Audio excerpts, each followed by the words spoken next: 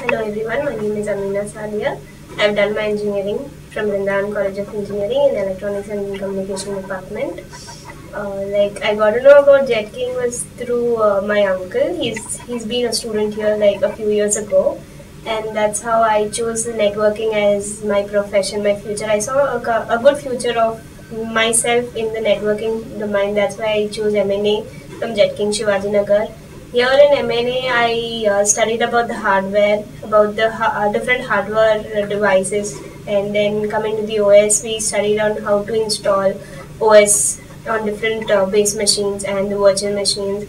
And then we did uh, networking. Networking was how the, how the data is being transferred from layer to layer, all the different networking devices and then uh, CCNA in CCNA we saw how the packets are uh, how the data is being transferred between the routers and you know like how the uh, transfer of information is being taken place.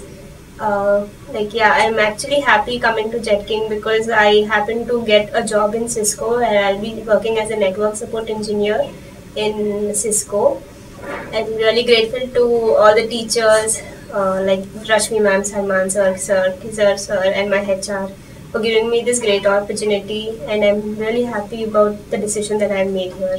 Thank you.